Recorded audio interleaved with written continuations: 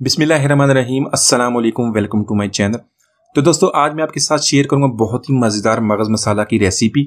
आपसे ये शेयर करूँगा किस तरह बहुत ही आसानी से हम इसकी सफ़ाई करेंगे, इसको बहुत ही अच्छी तरह साफ़ कर लेंगे और किस तरह हम इसको ढाबा स्टाइल में बनाएँगे, बहुत ही आसानी से इसको बनाएँगे। ई स्पेशल रेसिपी है, इसको ज़रूर ट्राई कीजिएगा।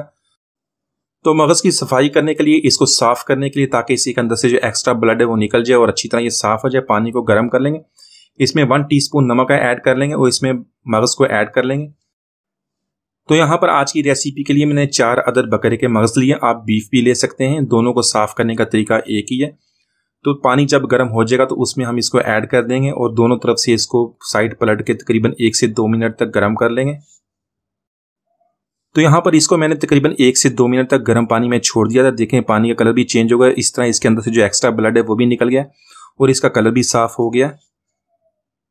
तो इसी तरह एक से दो मिनट के बाद हम इसको निकालेंगे। यहाँ पे हमने इसको बहुत ही ज़्यादा गर्म पानी में बॉईल नहीं करना। तो यहाँ पर कुछ लोग इसको ठंडे पानी में भी डाल के इसको साफ़ करते हैं। इसके ऊपर जो हल्की सी झिल्ली होती है उसको इस तरह निकाल लेते हैं। लेकिन ये कि धाबा स्टाइल में जब इसको बनाएँगे तो इसी तरह गर्म पानी में वो भी इसको थोड़ा सा बॉयल कर लेते हैं। हम भी इसको इस तरह बॉयल कर लेंगे। इसके बाद इसके ऊपर जो हल्की सी झिल्ली होती है वो भी इस तरह आसानी से साफ़ कर लेंगे। इसके अलावा वेंस के साथ जो ब्लड वगैरह लगा होता है, अगर वो रह गया तो उसको भी इस तरह खींच के निकाल देंगे, इस तरह हमारा मगज़ बहुत ही आसानी से साफ़ हो जाएगा। तो यहाँ पर सबसे पहले थ्री टेबल स्पून ऑयल के ऐड कर लेंगे। ऑयल को गर्म करने के बाद इसमें दो मीडियम साइज़ के प्याज उनको चॉप कर लेंगे, वो ऐड कर देंगे। जो धाबा स्टाइल में मगज़ मसाला बनता है, उसमें प्याज का इस्तेमाल नहीं होता, उसको सिर्फ़ टमाटर में बनाते हैं। यहाँ पे हम प्याज को ऐड कर लेंगे ताकि जो हमारा मसाला है, मगज़ मसाला, वो ज़्यादा मकदार में बन जाए। तो यहाँ पे प्याज को ऐड करने के बाद इसको लाइट सा ट्रांसपेरेंट कर लेंगे। तो यहाँ पर वन टेबल स्पून लहसुन अदरक का पेस्ट ऐड कर देंगे, इसको अच्छी तरह मिक्स कर लेंगे, एक मिनट तक इसको फ्राई कर लेंगे ताकि इसकी जो स्मेल है ख़त्म हो जाए। तो दोस्तों, आज की हमारी रेसिपी बहुत ही मज़ेदार बनने वाली है, इसको एंड तक देखिएगा, इंशाल्लाह आप इसको बहुत पसंद करेंगे, बहुत ही आसानी से हम इसको बना लेंगे इस मज़ेदार रेसिपी को। तो यहाँ पे लहसुन अदरक का पेस्ट को तकरीबन एक मिनट तक मैंने इसको फ्राई कर लिया। यहाँ पर तीन मीडियम साइज़ के टमाटर, उसको भी चॉप कर लिया वो इसके अंदर ऐड कर देंगे। टमाटर ऐड करने के बाद इसको प्याज के साथ दो से तीन मिनट तक कुक करेंगे। उसके बाद थोड़ा सा पानी डालेंगे। पानी डालने के बाद इसको अच्छी तरह मिक्स कर लेंगे। दो से तीन बड़ी कटी हुई सब्ज़ी मिर्च भी इसके अंदर ऐड कर देंगे और इसको दो से तीन मिनट तक कवर कर देंगे मीडियम टू लो फ्लेम पे ताकि जो टमाटर अच्छी तरह सॉफ्ट हो जाए। तो यहाँ पे तकरीबन तीन से चार मिनट तक इसको मीडियम टू लो फ्लेम पे हम मसाले को पका लिया। टमाटर हमारे सॉफ्ट हो गए इसको अच्छी तरह मिक्स कर लेंगे।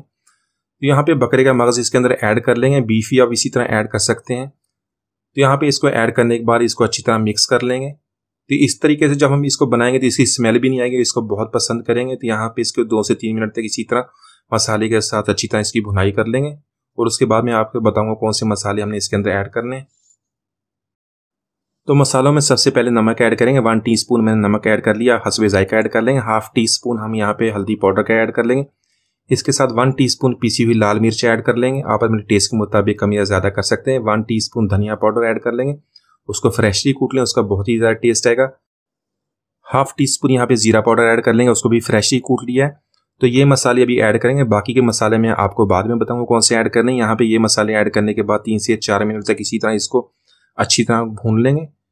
तो जितनी अच्छी हम इस तरह भुनाई करेंगे, उतना ही अच्छा इसका टेस्ट आएगा। तो यहाँ पर फ्लेम को हाई कर लेंगे टू टेबल स्पून दही के ऐड कर लेंगे। दही ऐड करने के बाद इसको अच्छी तरह मिक्स करेंगे और हाई फ्लेम पे इसको दो मिनट तक इसकी भुनाई कर लेंगे। तो ढाबा स्टाइल में जो मगज़ मसाला बनता है, उसमें मक्खन का भी इस्तेमाल किया जाता है। हम यहाँ पे मक्खन का इस्तेमाल नहीं करेंगे। यहाँ पे हमने भी इसको बहुत ही कम ऑयल से बनाया तो इसी तरह इसको हम इसकी भुनाई कर लेंगे ताकि इसका ऑयल रिलीज़ हो जाए।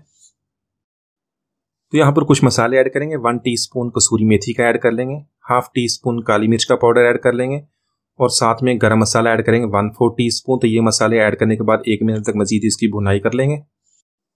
तो यहाँ पर ऐड करेंगे बारीक कटी हुई सब्ज मिर्च, साथ में ऐड करेंगे जूलियन कट अदरक और सब्ज धनिया। तो इनको ऐड करने के बाद इसको अच्छी तरह मिक्स कर लेंगे। तो माशाल्लाह हमारा बहुत ही मज़ेदार ढाबा स्टाइल मगज़ मसाला हमने बहुत ही आसानी से बना लिया। आप इसको इसी तरह बनाइएगा। बिल्कुल ढाबे वाला मज़ा आपको घर में मिलेगा। अमीर आज की रेसिपी आपको पसंद आएगी मिलते हैं अगली वीडियो तक। इजाज़त दीजिए। अल्लाह हाफिज़।